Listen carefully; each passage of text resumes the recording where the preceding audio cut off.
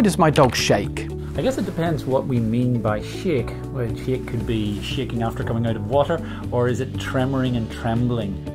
It can be nerves, but it can also be because the muscles are just so toned, and it's just that sort of excessive tone in the muscles that just allows the dog to almost be like a motor running. A lot of owners do worry about it, but rarely is it something of concern. Um, from a behaviour point of view, a dog might well be shaking because it's uh, anxious about a situation or a particular environment or something in its environment.